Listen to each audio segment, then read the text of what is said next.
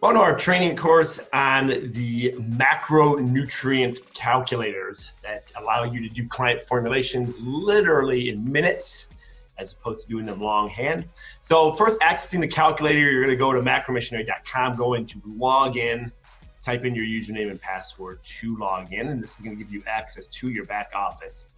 We're gonna start with the basic calculator, and you're gonna use this calculator probably there's really no reason not to use this for every client. Uh, I'll get into some of the features of the advanced calculator, but this is the this calculator is generally what uh, what we would suggest using. All right, so from here it's very plug and play. So I'll just take you through my formulation. So 41 years old, male. We're going to use the imperial system. Getting accurate height and weight. The calculator is only as good as the inputs, so very important. So I'm 5'8" and 190. You're typically going to use the athlete's formula for majority of your people. The lean mass formula requires a body fat percent. And unless you have an accurate body fat percent, uh, then you're going to want to use the athlete's formula. All right, so how do you describe the normal daily activities? So we're going to fill that in for our client. Now, it's going to ask how many days a week the client exercises. This is very important. So, for example, I work out five days a week, and this is active minutes. How many minutes per day do you exercise? They're asking for active minutes. So, talking, um, going, you know, going to get a drink from the fountain or whatnot would not be considered active minutes. So, my normal workout is about 45 minutes, and I would say about 30 of those is actual activity. Then it's going to go a step further, so very in depth uh, so I love about our calculator is how intense is the exercise. Now remember, most clients tend to over exaggerate their intensity. Uh, so you wanna make sure that you get uh, asked the right follow-up questions and use the client intake form to make sure that you can gauge the exercise intensity accurately. Okay, so once all that is filled in, you're gonna hit calculate your total daily energy expenditure and it's gonna give you your BMR and total daily energy expenditure. This would so this would be my maintenance calories, so based off the data that I put in. So from here, if fat loss is the goal, so you see I have the fat loss column here, you can go suggested, that's gonna be a 15% of reduction in calories. Aggressive would be 20% or very aggressive would be 25%. We can also custom fill in. So if I just wanted to say one pound of fat loss per week, I could just subtract 500 from 2,339.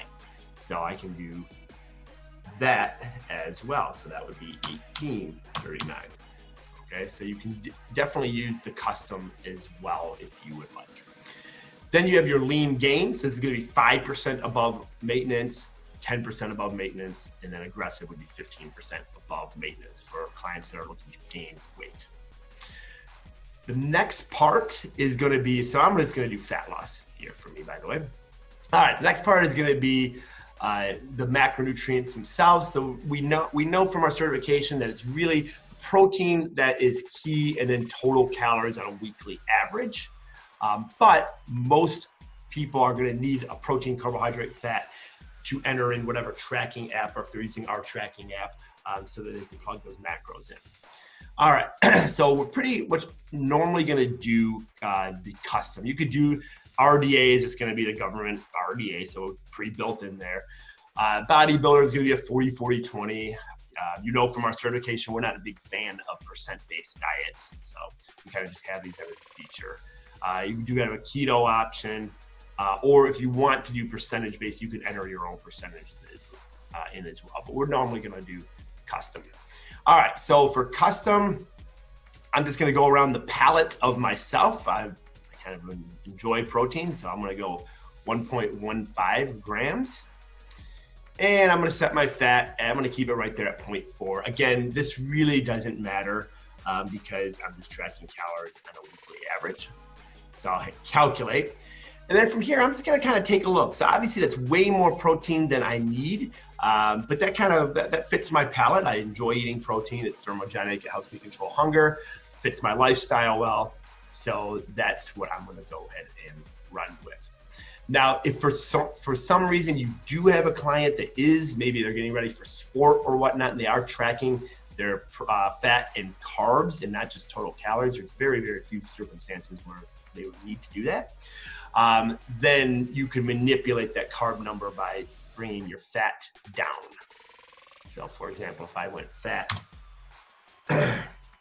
down to say 0.2 and then calculate, you see that's going to up my carbs and definitely take that fat down. All right. So that is your standard macro calculator. The advanced calculator, and again, there's very, very few to, to really no clients that you're ever going to really need this level of in depth. Um, but for people like myself that are just kind of nerdy, we can definitely go with this one. All right, so this advanced calculator, I'll take you through a few of the features. So again, so the metrics, we're just gonna go ahead and plug them in. Um, I'm 5'8", so 68, you know, 190 pounds. All right, it's gonna auto calculate my weight in kilograms. Now here, and this is one of the pluses, but also a minus. So here you have to have a body fat percent. And again, if you're entering in a body fat percent that isn't accurate, um, then it's gonna throw off the numbers. Now, the BMI body fat percent here is tends to be off by about 5%. So about 5%, we find it to be pretty accurate. So it tends to be 5% high. So I'm gonna show you how to use the BMI percent. Uh, I don't personally know what uh, my body fat percent would be at this moment. So I'm gonna use the BMI estimation. First, I'm gonna enter in my age. Got the weight in there already. All right. So I'm gonna go BMI percent. I'm gonna subtract 5% from that, and that's gonna be 22. Uh, that's probably grossly high estimation for me because it is based off of BMI, and I tend to have a little bit more muscle mass um, being a competitive bodybuilder. So you're gonna wanna watch that as you see your clients' pictures. So for percent, I'm actually gonna really, really lower that to 12%. All right. Yep.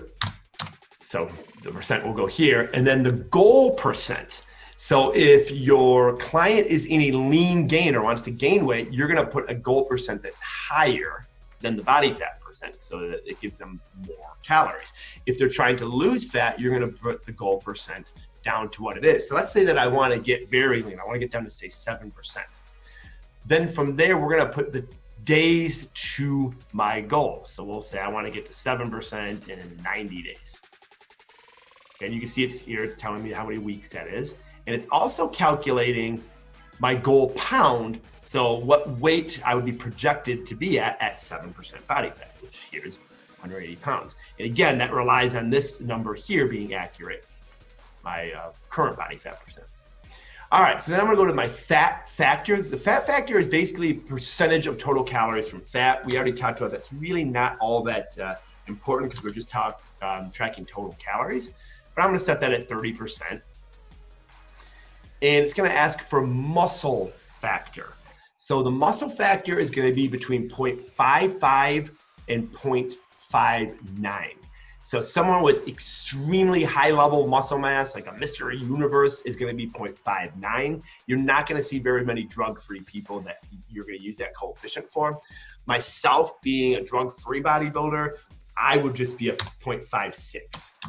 Okay, so most of your clients are just going to be 0.55 on that muscle factor. All right, then from here, I'm just going to recheck all of my inputs. Okay, protein factor. So the protein factor is different than what you learned in the certification manual because on this calculator, it's going to estimate my actual muscle pounds, not lean body weight, but my actual muscle pounds. One of the cool things about this calculator. And my protein factor is going to go based off of that. So you're going to want to go between 1.5 to 2.5 if you're using this calculator. So I have, again, a pretty high protein, so I'm gonna go for 2.25. And it's just gonna give you some additional metrics, okay? Um, percent loss desired, pounds of fat to lose. So that's kind of cool. Like if I go from 12 to 7%, how many pounds of actual fat do I need to lose? Okay, here's total daily energy expenditure, BMR, All right, and the recommended calories, 1861. So that is to get me from this percent body fat to this percent, so 12 to 7% in this time. So here's where some of the art is going to come into play. 1861 for me, that's really low calories. So if I were formulating this for myself, I would probably maybe increase my day, uh, my time to maybe 120 days. And you can see that will increase my calories because I'm giving myself more time. Or another thing that I can do is say, well, you know, maybe I don't want to get that lean. You know, maybe I'll go to 9%. Okay. So you can see that's going to increase my calories because I'm not getting as lean. Okay. Glycogen saturation capacity, that's basically if your client was completely depleted of carbohydrates, uh, both their liver and muscle, how much carbohydrate they can store. So that could be useful if you're like carb loading an athlete or something along those lines. But other than that, it's just kind of just data uh, for you to have. And typically, this is going to be correlated with how much muscle they have. The more muscle they have, the higher their glycogen saturation is going to be. DRI, I just uh, programmed in there so you you would know what the bare minimum protein uh, intake is. So 69 grams. All right, and then here is going to be my macronutrient distribution. So again, the protein is going to come based off my protein factor here, and the fat is going to go off my fat factor.